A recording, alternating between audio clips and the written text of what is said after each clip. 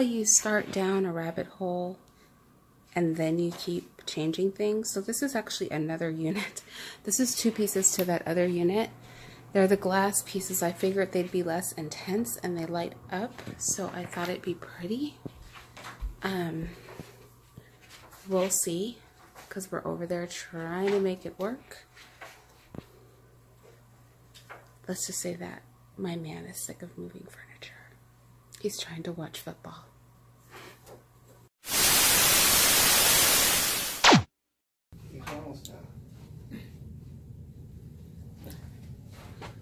There goes baby. Say hi, baby. Say hi, baby. Hey. There goes my man. He's headless. He's a headless man. We are in St. Louis. Everything looks like it's been dipped in dust. Nothing's quite clean. It's very interesting. I've never seen anything like that out of a city.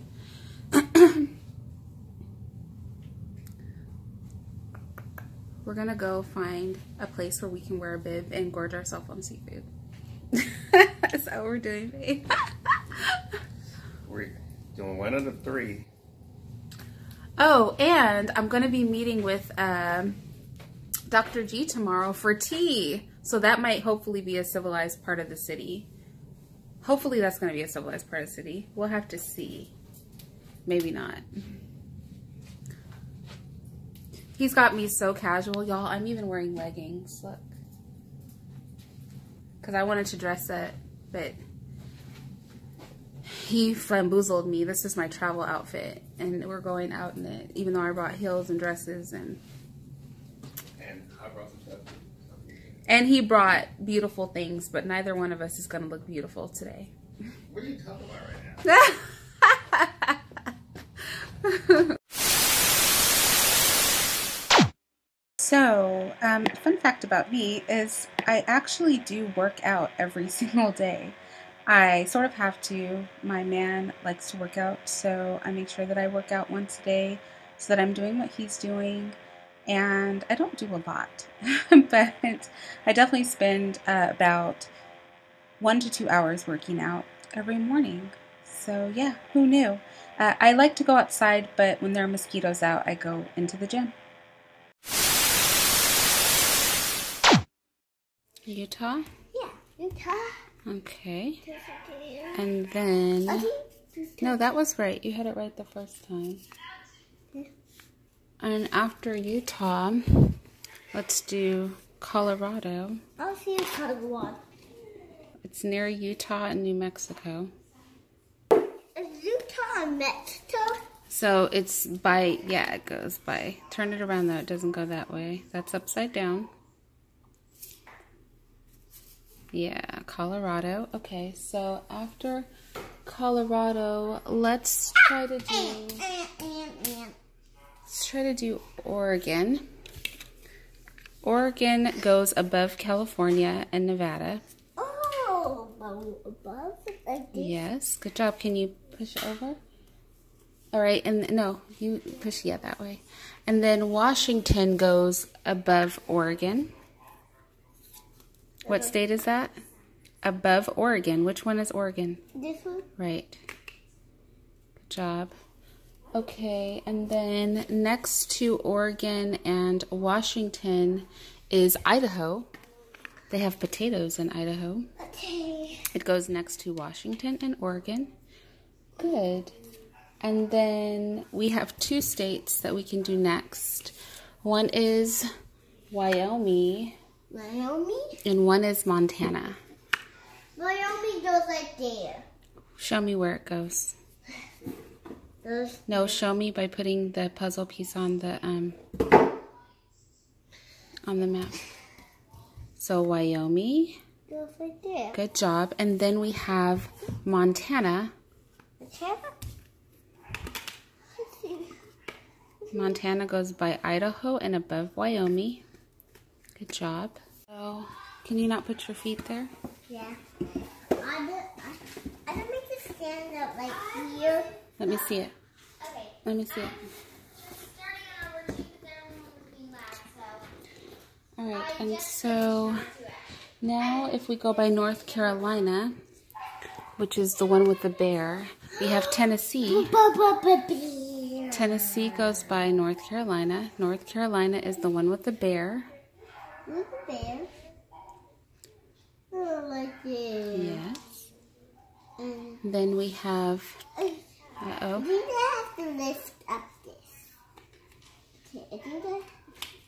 I think I have to lift up. then we have Kentucky above Tennessee. this Yes. like this. Yes. Like, So we have Nebraska under South Dakota. and South Dakota. Right here. Good job. You're so smart. Well, This is pretty crazy. He cannot read this whole book, but he can read the first. I can't read the whole book. No, he can't read the whole book, but he can read the first couple of pages. So I'm gonna let him do it. Bit Uh huh. dots. Good job. And little dots. Smart boy. Sarah. That's my uh, Australian accent. Sir. Okay, I'm trying to show you guys this. Do I need to back out? Oh, I think I'm as far back as I can go. Maybe I can show you from this side. Okay, I'm doing my whole house, but I wanted to show you guys. Oh no, I have to cut that. Hold on. Gosh. I have to cut this. Okay. All right, I wanted to show you guys what I'm doing with my li- my living room pillows because something weird has been going on. These pillows are actually whoa. Okay, I've been. I can't show you guys my hands. Okay, so these pillows are actually pretty massive. I have a really big table. You can see how much of the table it takes out up. But the pillows have been looking like this. See the difference there? Because just having kids and people leaning on the pillows, which I hate because these pillows are actually uh, silk and the fringe is silk and they're down stuffed. So, um, well, they're feather and down. They're not purely down, but they're feather and down. So, my pillows ought to, don't mind my teacup here, sorry.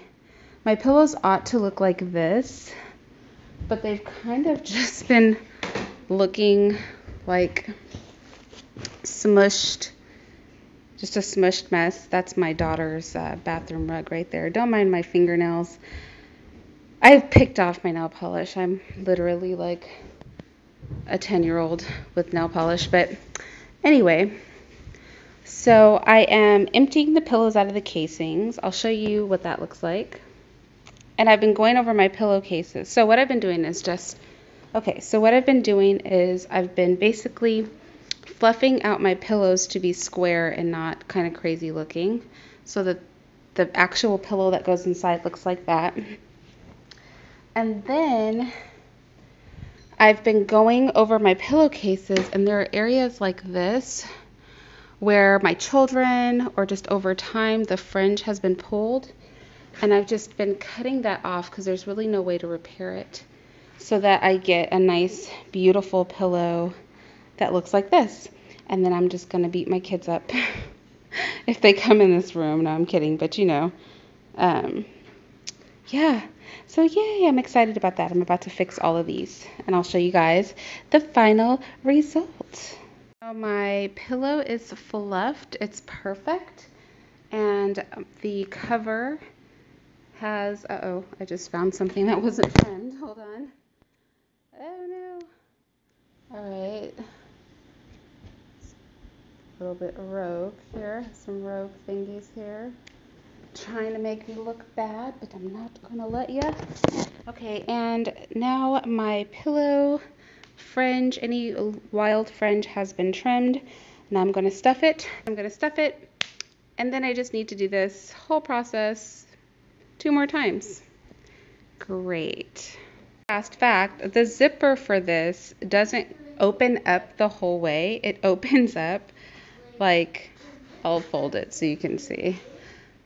So see that? That's the zipper. So I've got to get this pillow, which is about um, four to six inches wider than the opening here into there. But it is made of, like it is stuffed with, uh, it is stuffed with feathers. So possibly that's going to save me. We will see.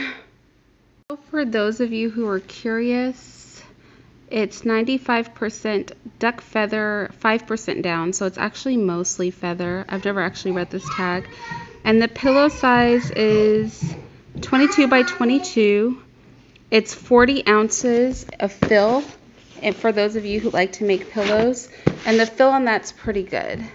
So yeah, this is the third one that I'm straightening out. It looks so much better after they're straightened out. Mom, There's a little boy I know. Something, Mom. No, put it down. Thank you, sir. I put it in the trash. Uh, no, thank you, sir. No, no, please, because I don't want fringe everywhere. Don't touch it. Okay. Those aren't all of them. Like, a lot of these are missing. Where could they be? So I guess I'll have to look downstairs because I want the... In the, bag, in the bag that was sitting around. Okay. I, and I saw This one right here, I've had her cleaning her them. I room. saw them. I don't think I'm her favorite person right Mom, now. I saw them. Am I your favorite person? them. Am I one of your favorite people? Uh-huh. Okay, you're one of my favorite people too. I was wrong. I thought she might be holding a grudge against me because I went in their rooms and I was like, this is a negative, and I was not nice about it. But everybody will feel happier when their rooms are Mom, clean. Mom, Stop. I know what those other marches are. I saw them. I want the crowns too, though. Anyway, let me finish this because I also have to repair and fill the wood and da da da da da. So I just wanted to demonstrate like what a huge improvement it was. So this is my sofa and this is a sofa that I've done the pillows on. Just look at how big and perfect they look. They look so big. They look so perfect, right? And then in contrast, this is the sofa I haven't done it on. And don't mind that, that's my son who's here from Japan. His. So this is the sofa that I have not done it on. So this is the sofa that I have not done it on in contrast. And it just looks very sad, doesn't it? And look, the pillows are so smushed that the big pillows actually look the same size as the small ones, which is a problem. But then again, if we go back to the other couch where we have emptied out the pillowcases, fluffed them, and kind of fixed the fringe, it looks stunning. It's so pretty. So I'm going to go ahead and do the other two pillows. It's actually way more work than it ought to be, but I mean, I'm not mad because I love the look. And this is just a great way to make the room just look that much more tidy. I'm so, so my son put his French book up here. You know, French is one of the languages he is learning and that he speaks. He's not fluent, fluent. Fluent, by fluent, I mean he can't speak like a native speaker, but you and I wouldn't know the difference, right? Maybe a French person would. Um, so he put his French book up there, but it's blue. I think he did it because it's a dictionary, but I'm going to take it upstairs simply because, yeah, I can't just have it like that. So anyway, I'm really happy with this. Don't mind, don't mind the fact that this stuff is down because I'm literally like cleaning my house right now.